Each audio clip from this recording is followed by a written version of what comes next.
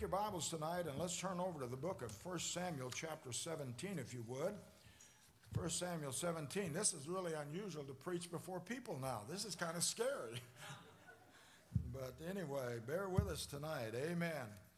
1 Samuel chapter 17, we're going to look at verses 20 through 29, and we'll look a little bit, review the story some. Most everybody knows this story very well but I think it will fit in right now with what we've been going through in our country and around the world. So if you found your place, let's stand. We're going to read verse 20 through 29. Starting in verse number 20, it says, And David rose up early in the morning and left the sheep with a keeper and took and went as Jesse had commanded him, and he came to the trench as the host was going forth to the fight and shouted for the battle. For Israel and the Philistines had put the battle in array, army against army. And David left his carriage in the hand of the keeper of the carriage and ran into the army and came and saluted his brethren.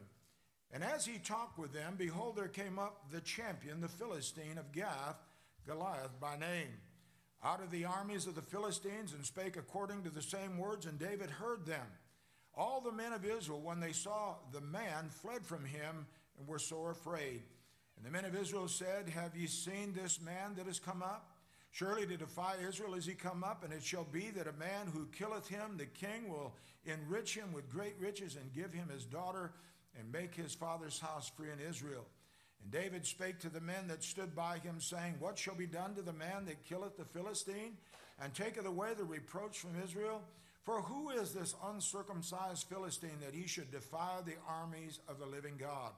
And the people answered him after this manner, saying, So shall it be done to the man that killeth him. And Eliab his eldest brother heard when he spake unto the men. And Eliab's anger was kindled against David, and he said, Why camest thou down hither? And with whom hast thou left those few sheep in the wilderness? I know thy pride and the naughtiness of thine heart, for thou art come down that thou mightest see the battle. But verse 29, we've all heard it and read it before. And David said, What? Have I, what have I now done? Is there not a cause? Father, again tonight, I pray that you'd be in this service. Thank you again for the opportunity to meet. And Father, I pray this is just the beginning, and very soon we'll be able to get back to complete normal Sunday school and everything as it used to be, Lord. And Father, we know that you make no mistakes, and Lord, your hand is in control of everything that's going on. But Lord, help us to be faithful and help us not to slack off in any area, but Lord, to be faithful to you. And Lord, we're going to praise you tonight for what you do, for we ask it in Christ's name. Amen. You may be seated. I want you to look also, if you would, at Proverbs chapter 29 and look at verse number 18. Proverbs 29 and verse number 18. In verse 18, the Bible says this Where there is no vision, the people what? Perish. But they that keep the law, the man, but he that keepeth the law, happy is he. I want you to think about this verse in particular. That word vision literally means a dream. Without a dream and without a vision, do you know what happened? People perish. And that word perish is very interesting. It means to loosen, dismiss, or go back. If we lose our vision, do you know what we're going to do? We're going to get backslidden. We'll backslide on God. I want to speak tonight on this, the subject, spiritual assassins. You know, here about three weeks ago while we were online, I preached on the assassin of prayerlessness. Do you remember that? About how that we need to pray. That's one of the main weapons we have as Christians against the devil and his crowd. But I want you to think tonight about what the problem really is. One of the spiritual assassins is this it's, it's the, the killer of pessimism. You know what? We're going through all we're going through right now, and I'm sure that some is this on? It's not. You should have hollered at me, Joe. Through you never you never had a problem hollering before. but anyway, you know, a lot of people they're going through this time right now, and I think the world and even some Christians, they think, boy, you know, it's coming to an end. It's all over. We're, we're losing out. We're not going to be able to live for the Lord like we once did. And sometimes people, when they get in that condition, they literally backslide. They quit doing what they once did and they're not faithful like they once were. But I want you to think of the word pessimism also because that's the killer pessimism. And what it, what it results in is a lack of vision. You say, Well, I just don't think it's going to happen, so why should I have a vision? Why should I dream? We need to continue. We don't want to quit. This is not a time to quit. But that word pessimism means this it means to question or to doubt. We should not be doubting anything today. God has allowed what's taken place for His glory. Amen? And we need to look at it that way. Look back, if you would, at 1 Samuel chapter 17 again, and look at verse number 26 one more time, and then we're going to look at also verse number 37. But back over there at 1 Samuel chapter 17, and look at, first off at verse number 26.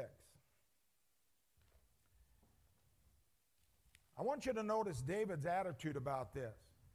In verse number 26, and David spake to the men that stood by him, saying, What shall be done to the man that killeth this Philistine, and taketh away the reproach from Israel? For now notice this, for who is this uncircumcised Philistine that he should defy the armies of the living God? You know, right there you saw his spiritual character. He said, I don't care how big, how great, no matter who they are, they have no right to stand up against our God and his army. Well, I like that. He was not going to quit. And what he said to his brothers down in verse number 29 is there not a cause? He believed that with all of his heart. And that's what we need to do. Uh, look at verse 37 of that same chapter. And here we see a, another aspect of David. Verse number 37.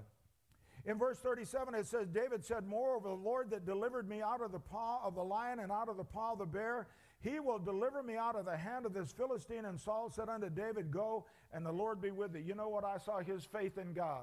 It was not diminished one bit, not even a little bit. He said, This man is no different than that bear, that lion. Uh, they attack, and if he attacks, I'm going to destroy him just like them. God can do that.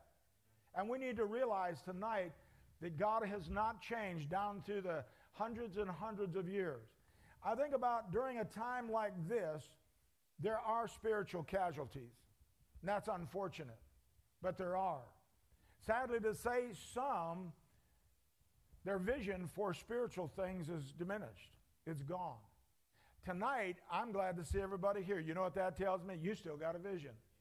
But I'll guarantee you, brother, brother uh, Abby's church and churches around the country where they've been out of church for a while, there are people that will never darken the door again because they've lost their vision.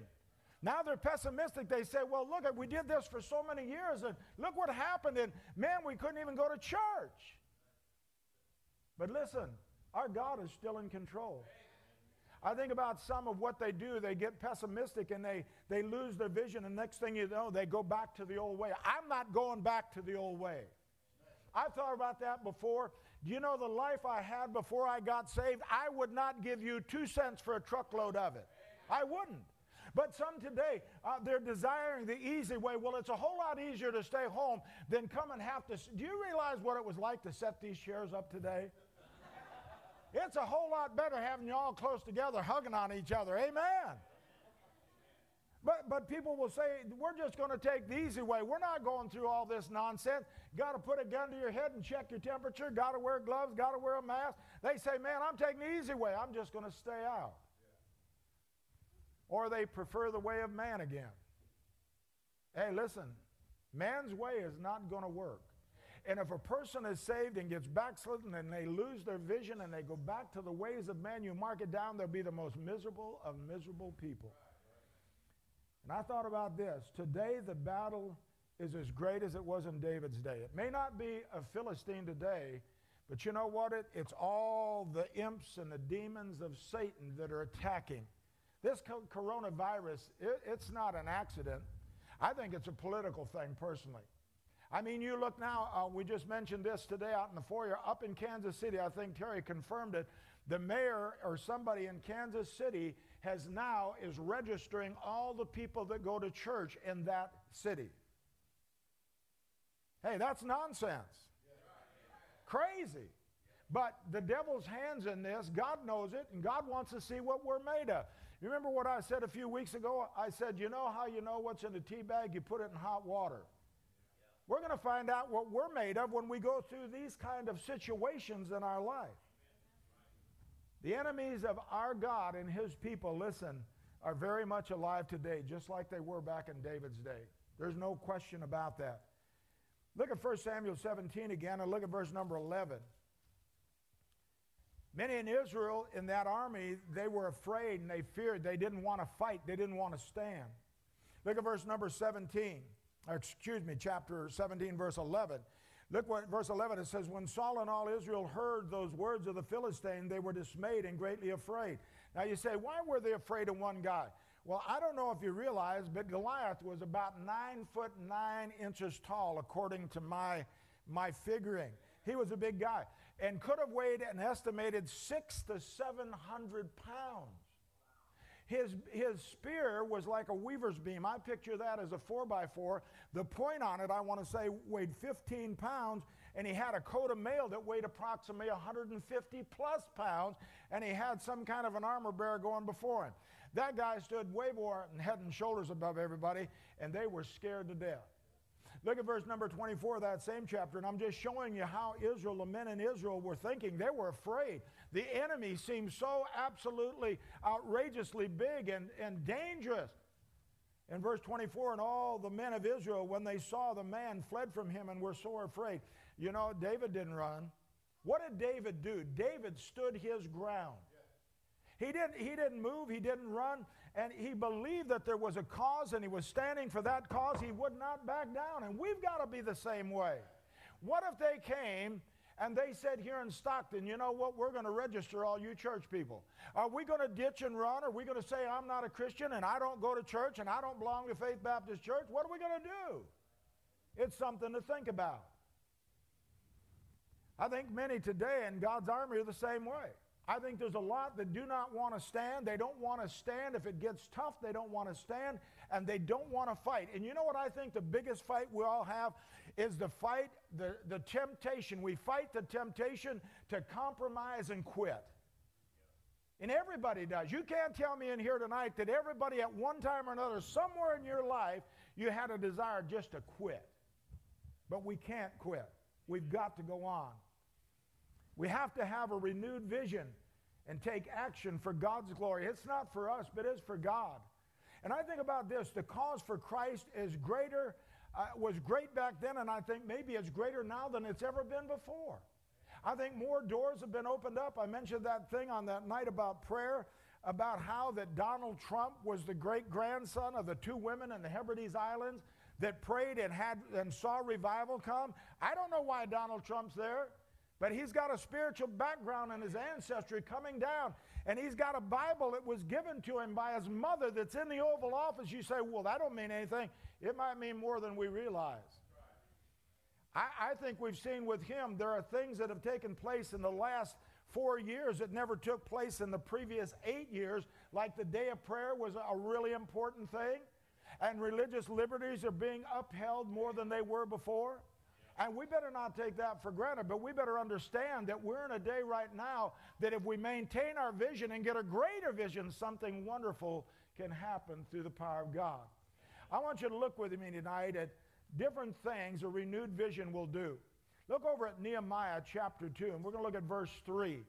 The story of Nehemiah is an amazing story. Nehemiah had a burden for his city that had been destroyed. The walls were broken down and the gates were burned. And if you'll notice, uh, when we get a renewed vision, we will see that the cause of Christ is still worth standing for. It's still worth standing for. It's never changed. No more than it was in David's day, we should still stand. Nehemiah chapter 2 and verse 3, I want you to see here was his cause for standing. And he said unto the king, Let the king live forever.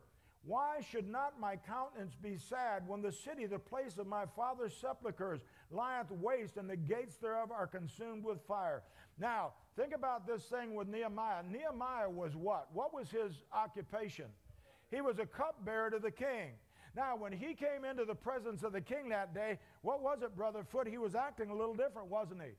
That king could see that his countenance was not the same as normal. And that's a scary thing for a cupbearer because if they have a, a guilty look on their face or they have a nervous act, you know what the king might just do? Take them out and have them killed. Because maybe they poisoned the wine or they poisoned whatever the king's about to eat, and they wouldn't take any chances. But that king loved him. And he said, I noticed, Nehemiah, there's something wrong. What is it? And he, read, he gave this quote that we just read in verse number three. He says, The city of my fathers and the gates of that city are burned. He says, That's the reason. But he took a stand on something. Even though he was a captive in a foreign land, he took a stand for the things of God. Look now, if you would, at chapter 6 of Nehemiah and look at verses 2 and 3. And they began to rebuild the walls and they began to rebuild the gates. They re- began to rebuild the entire city. But it wasn't without, without anybody trying to oppose. And by the way, we still have people opposing this. You look at New York City, you look at all these cities, they got governors that saying, You're not going to do this, you're not going to do that. I like down in Texas, there's a lady that owned a beauty salon. How many saw that story? Lady owned a beauty salon. She opened her beauty salon against the dictates of, of the government. And they took her and they said, uh, You've opened your business. You're not supposed to do that. You know, we're going to have to put you in jail. She said, You're more concerned about that than she said, My kids don't have food. My employees that work for me, they don't have money to buy food for their children. Their children are going hungry. And she said, If I've got to go to jail, then I'll go to jail. But here's the Lone Ranger came to the rescue. The governor of the state of Texas says she's not going to be in jail. Amen. He's standing up for what's right. And that's exactly what Nehemiah did. He did not compromise. Look at verse number two. And here are two of those that were rebelling against him. That Sanballat and Geshem sent unto me, saying, Come, let us meet together in some one of the villages in the plain of Ono, but they thought to do me mischief. These were guys were opposing the rebuilding of Jerusalem. They were. They didn't want anything to do with it. They were doing everything in their power they could to stop the rebuilding. You know what Nehemiah did, though? They got ready. They carried a, a tool in one hand, they carried a weapon in the other, and they said, If you hear the trumpet blow, wherever you hear it, you go there and we'll battle. He wasn't going to compromise. And then look at verse number three, and I love what he said. Uh, he returned the message. And I sent messengers unto them saying, I am doing a great work so that I cannot come down. Why should the work cease while I leave it and come down to you? You know what? We may have coronavirus, we may have all these different things going on, but that doesn't mean we got to stop. Amen? We got to keep going. We need to stand for the old King James Bible, folks. we have we have a book that we've been looking at. The guy's got some really good devotions. It's a cowboy book, Jordan. It's really good. The guy was a world championship calf roper. I believe he's saved with all his heart, but he doesn't have any clue about the Bible. I mean, absolutely none whatsoever. And I tell my wife, and she says to me, she says, Why in the world would somebody that loves the Lord so much use such corrupt garbage? We've got what God wants right here, folks. Let's not change it. Let's stand on it. I don't care how many times people ridicule, oh, you guys are those King James. Yeah, I'm King James. Amen. You're going to go with something, you might as well go with the best. Amen. I, and then I think about this. We need to still stand for godly standards. You, you know, and everybody thinks of standards, you automatically think of dress. I think we ought to have dress standards. I think we ought to obey dress standards according to the Bible. But there's a lot of standards. We ought to, we ought to stand for Christ no matter where we're at. We ought to stand for the Bible. We ought to stand for righteousness and holiness. We ought to stand for all of that stuff and not ever compromise. You may be going through this coronavirus thing and everybody else in our community, but we ought to be a little different than everybody else. We ought to have a smile on our face and not a frown or be frumpy. We ought to stand for what is right, and that's our Lord. Amen. Look at Matthew 5 and verse 14. Talking about the light of the world. She doesn't like me anyway. that little girl, those other two children, they would smile at me. Every time they smiled, that was $100 in their bank account. I have been deducting from Aurelia's bank account. I mean, tonight I walked over there. Do you see what she did? I said something. She looked at me and went, She didn't even give me a second look. I couldn't believe it anyway. Look at Matthew 5 and look at verse 14. It says, Ye are the what? Light of the world. A city that is set on a hill cannot be hid. Neither do men light a candle and put it under a bushel, but on a candlestick, and it giveth light unto all that are in the house. Let your light what? So shine before men that they may see your good works and glorify your Father which is in heaven. Some years ago, I had a computer program and it had the different customs over in the Bible times. And it talks about that bushel. Put a candle under a bushel, no, and that song we know.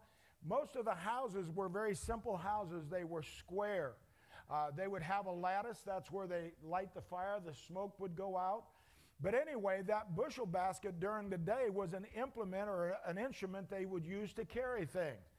But at night, that basket was turned upside down and that became the lampstand.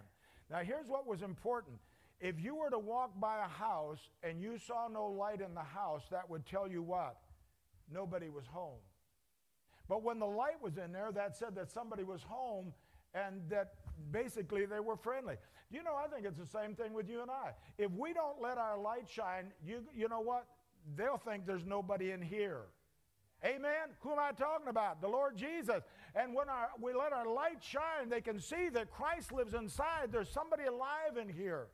And we need that. I think of how the Lord Jesus stood for us. He endured the impossible because he had a vision for our salvation. And each one of us need to have a personally renewed vision of what we must stand for. We'll never have to endure what Christ did. And sometimes we say, man, it's just too tough. I just can't stand. Really? What are we going through that compares anything to what Christ went through? But then look at Matthew 28. Here's the second thing. With a renewed vision, we will see that the cause of Christ is worth going for. I really can't say a whole lot about our church when it comes to going. We have anywhere from 25 to 40 people out every Saturday morning. And by the way, when we're able to gather again, let's not let that down. It's been a blessing. Our community knows that Faith Baptist Church is on the map. They know that. Uh, you'll go to a house and you'll knock on the door, oh, somebody from your church was just here. That's a blessing. That's what it's all about. But we need to have a, a vision and maybe a renewed vision uh, to see that Christ is still worth going for. Matthew 28 in verse 18, and Jesus came and spake unto them, saying, All power is given unto me in heaven and earth. That verse is so important. Many people will not go out and they'll not knock doors, they'll not visit, they'll not witness because they're afraid. They say, I just can't do that. I don't have the ability to do that. You know what? We have all the power of Jesus Christ at our disposal if we just ask for it. Amen. And then look what it says in verse 19. It says, Go ye therefore and what? Teach. That word literally means to make disciples of.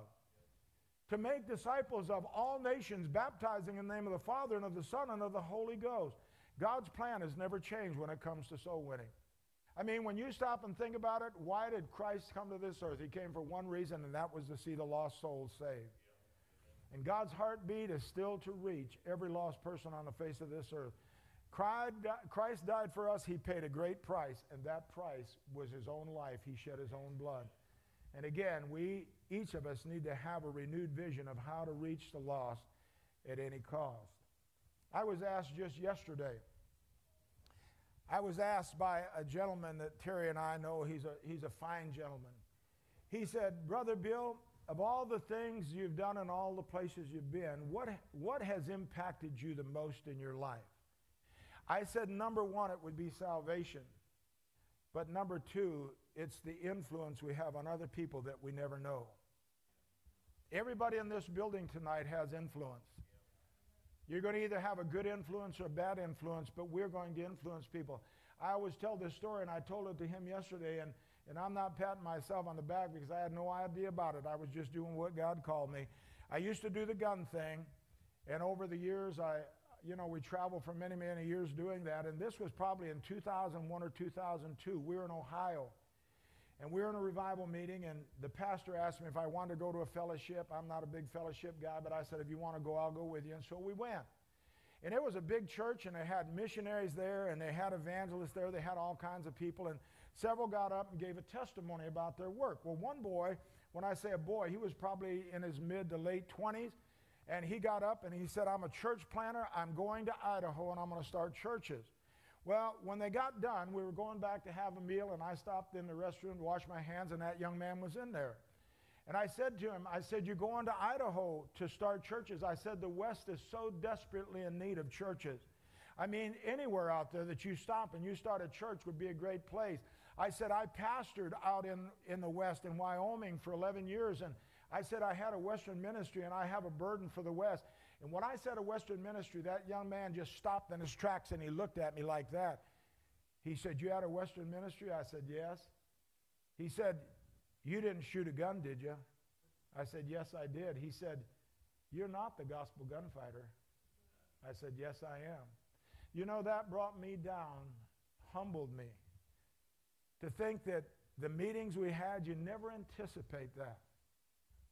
But that young man's life was influenced. He got saved in a meeting when he was a boy. I had no idea about it. And you have no idea when you go out and you have that fresh vision for Stockton and Cedar County and El Dorado Springs and Bolivar and Humansville, you have no idea who you're going to touch and whose life you're going to affect. But we've got to keep going because without that vision, people will perish. And not only will they perish and die and go to hell, but also the Christian will backslide will not live for God the way they should. Here's another one. Look at 1 Samuel 12 and look at verse 22 and 23. With a renewed vision, we will see that the cause of Christ is worth praying for. And I hit this real hard three weeks ago, but you can't say enough about prayer. The cause of Christ is worth praying for. In 1 Samuel 12 and verse 22 and verse 23, it says, For the Lord will not forsake his people for his great namesake, because it pleased the Lord to make you his people. Samuel was talking to Israel. And you know, Israel was like a spiritual yo yo, up and down with the Lord and back away from the Lord. But notice verse 23 what he says. Moreover, as for me, God forbid that I should what? What's that next word? Sin against the Lord and what? Ceasing to pray for you, but I will teach you the good and the right way. He said right there, prayerlessness is a direct what? Sin against God. When we have a renewed vision, you're going to understand more than ever before that prayer is so vital. We can't be everywhere at all times, but you mark it down when we pray, God is. I wonder how many of you still, how, no, I'm not going to ask that. I wonder how many of you have the last prayer bulletin we had before we had to dismiss. When's the last time you prayed for it? We need to pray and get serious about this thing of prayer. Uh, there are people on that prayer list that we have been praying for for years. I think about the Martins, pray for them every day. I think about different ones. I think about the Penard's children and all of them on the prayer list. Uh, we need to pray. You say, well, nothing's happening. We have no idea what God's doing. And I always like to remind myself and tell the one too about Gladys Carter and Clint were in Dayton, Virginia. She was 102 years old when she died. She was 100 years old sitting in a church service. And I remember, was, were we there that day? Yes, they got saved that day. We were there, and the pastor gave the invitation, and people came forward to get saved. And a man and a woman got up and walked down the aisle, and they both got saved. They were 71 years old each. Guess who they were? They were Gladys Carter's son and his daughter in law. She'd prayed for him for 70 some years. She never lost her vision for God saving her children. Luke chapter 18 and verse 1 says, And he spake a parable unto them to this end, that men ought always to what? Pray and not to faint. You know, the Lord Jesus prayed, leaving us an example. Did he have to pray? No, but he did it, leaving us an example. And I think without a doubt that each one of us needs to get a personal, renewed vision and get confidence in our prayers that God will answer our prayers when we're right with him. And here's something else I thought about. This now I lay me down to sleep type prayer, we don't need those kind of prayers. What we need is specific prayers. I thought about the model prayer. If you go down to that model prayer, there's specific things in that prayer that God asks the people to pray for and pray about. And we need to be specific about it. You say, well, uh, boy, I've just been praying and praying and praying, but nothing happened. I think of the story I told last week about my father in law. We specifically prayed for two and a half months, specifically prayed. And in two and a half months, he got saved. I don't know that that'll happen in every case, but I know it sure happened there. And he had rejected for years and years and years and years. But I think it was that specific prayer that made the difference. But then look at 2 Timothy 2.15. Here's another. With a renewed vision, we'll still see that the cause of Christ is worth studying for. I was amazed when I was in evangelism. I like to do a, a quiz every night before we'd start the service, go over things that we'd had. And sometimes you'd have a verse and you'd say part of a verse and you'd leave it out. And was amazed to see how many people could not complete that. You and I in here tonight, we need to be students of the Bible. We do. And the, the more we realize that, that Christ is still the focal point and he's the most important thing, is the more we should study and learn more about the Bible. Look at 2 Timothy 2.15. It says, Study to show thyself approved unto God. A workman that needeth not to be what? Ashamed, rightly dividing the word of truth. Uh, how many of you play games on your phone? Now be honest. Let me see your hands. Slip them up high. Come on, come on. Yeah, okay. Everybody's holding their hand down. I don't want to. My wife got me started. Well, what can I say? She's a bad influence from time to time. but I got one on there. there. There's one that you have words and you have to figure out what the words mean. I play that one. But there's another one, and it's a Bible program. And it's a Bible quiz program. Betty, I'll tell you what, it can be challenging. There's about six different categories that you can punch on, and it comes up, it'll leave out a word, it'll be a, a place or a book in the Bible. Hey, listen, that's the kind of stuff we ought to be doing instead of playing the dumb games and watching the television and playing the videos and all that other nonsense so we'll be prepared. Amen. Woo!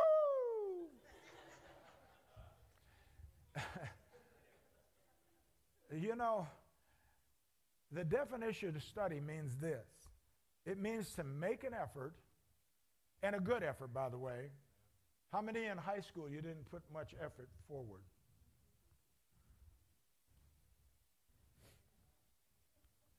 Yes, amen.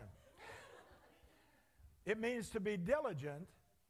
It means to labor or endeavor. You say, man, those are hard words. That means I'd have to work at it. Yeah, that's exactly what it's saying. But that word rightly dividing, this is good too. It means to cut a straight line. It doesn't mean to go off to the left and go off to the right. Well, this is what I think, or this is what the commentary said. No, this is what the Bible says. Amen. You need to read your Bible, you need to study your Bible. Now, we have these little notebooks in the bookstore. They're only two bucks. I got one myself. You ought to have one of those. How many of you ever come across a word you don't know what it means? We all do. The rest of you could raise your hands too. Somebody tell me what Adramyttium means. All you Bible scholars. Come on, Adramyttium, what's it mean?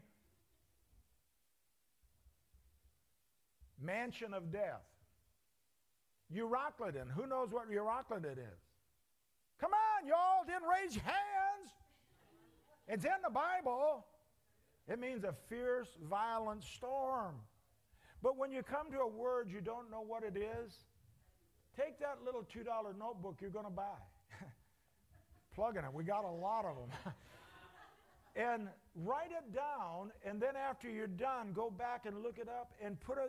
Listen, you will enjoy your Bible so much more.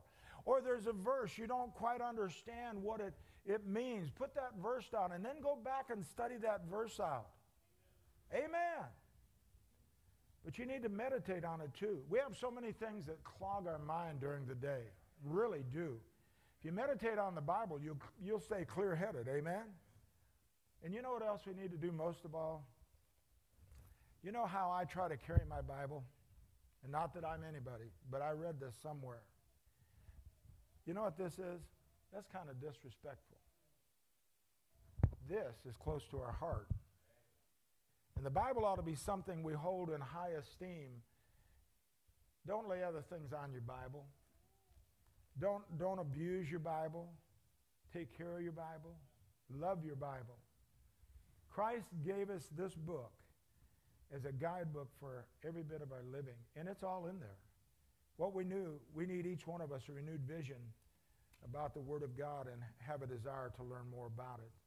But then the last thing, look if you would at Luke chapter 6 and, well, no, there's two more things I lied. But I'm still not going to break preacher's record. How many of you tried to watch Sunday? Buddy, it was tough. I was a, what are they? I was a defector on Sunday. By the way, pray for my kids. They've lost their minds. They moved to Texas. Anyway, so we watched we watched the church they're going to go to. You better you better praise the Lord for Pastor Grandy. That pastor went an hour and 36 minutes. My wife had to splash water on me to keep me awake. But look at Luke 6:38. With a renewed vision, we'll see the cause of Christ is still worth giving for.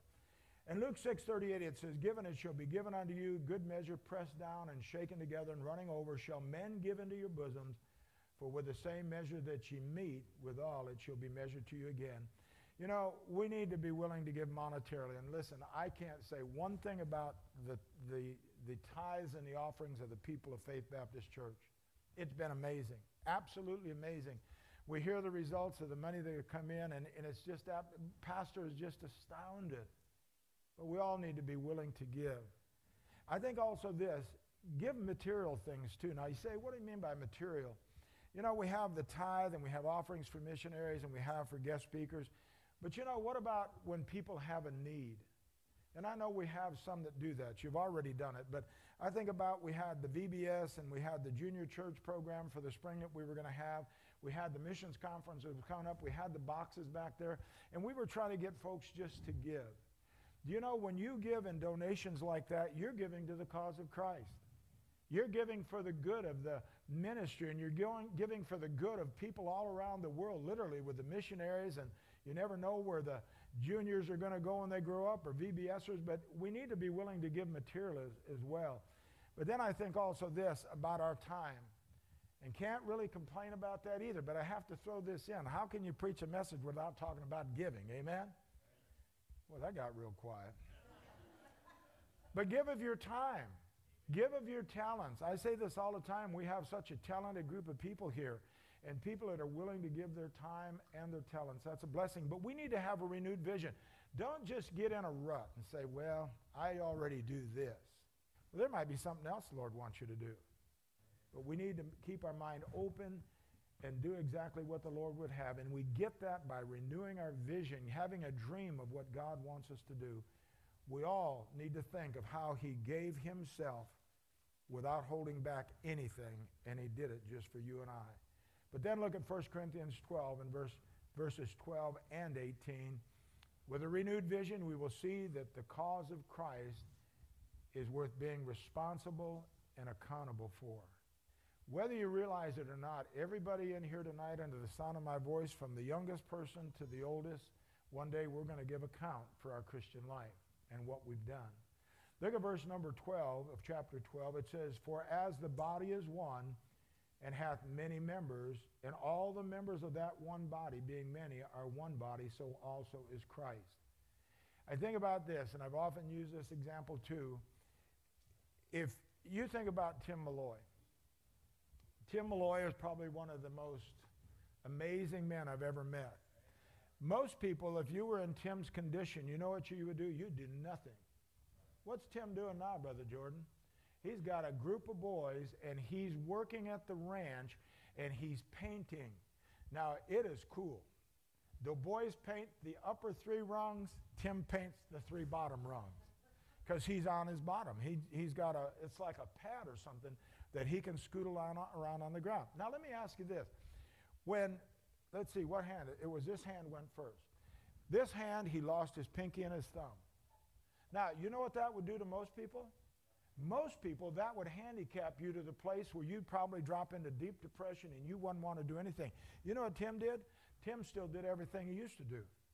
And then they took the hand and then they took it off, I think, just below the elbow. That didn't hold him back. We go out when the brandings, you know what Tim did? Tim was right hand, but Tim learned how to rope left handed. He'd tie hard and fast because he couldn't dally anymore. But he was roping like gangbusters with a left hand. He never did it. Okay, and then so uh, they took the pinky and the thumb off of that hand.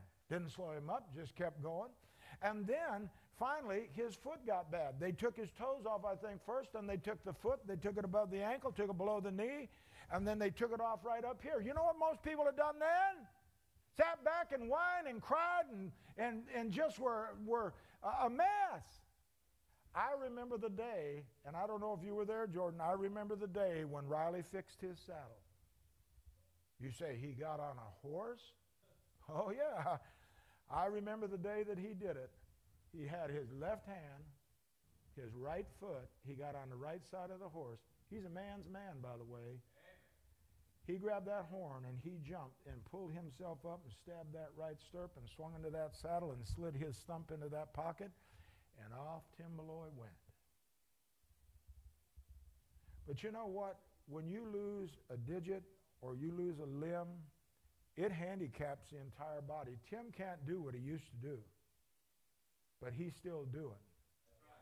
And I think about this the cause of Christ is still is worthy to be accountable for and responsible for because we're part of the body. And you wouldn't think of that, but you just picture yourself as a pinky finger. You picture yourself as a thumb on the body. You picture yourself as the toes on the left foot, or you picture the, the, the leg on the, the right side. And by the way, they had to amputate both his legs, and now he's only got stumps this long. But when that happens, if you lose the pinky or you lose the thumb and you lose the foot, it handicaps the entire body, and the body cannot do what it once did. And everybody sitting here tonight is part of the body of Christ. And if you and I are not doing our part, we're handicapping the whole. And we need to do our part. And I'm not, I'm not chastising anybody, I'm encouraging. I think we have a wonderful group of people and we have a wonderful church. But I think the greatest and the most wonderful days yet lie ahead for Faith Baptist Church. But in verse 18, it goes on to finish that. It says, But now hath God set the members, every one of them in the body, as it hath pleased him. He has you're not here by accident tonight. God has put you exactly where you're at, and he has a job and a purpose for you. Each member in here tonight has a God given responsibility. I can't fulfill your responsibility. I think of even these children in here tonight that are saved. If they're saved, they have a responsibility. They do. And one day we're going to have to give account for it. Romans 14, verse 11 says this For it is written, As I live, saith the Lord, every knee shall bow to me, and every tongue shall confess to God. So then, listen to this every one of us shall give account of himself to God. Each member of the body will be held accountable. Nobody will be exempt from it, no matter how young or how old, if they're saved. We don't want to handicap the body. I know this. I want to do the very best I can as a Christian, number one, and as a preacher, number two. I don't want to handicap Faith Baptist Church. I really would never want to do that.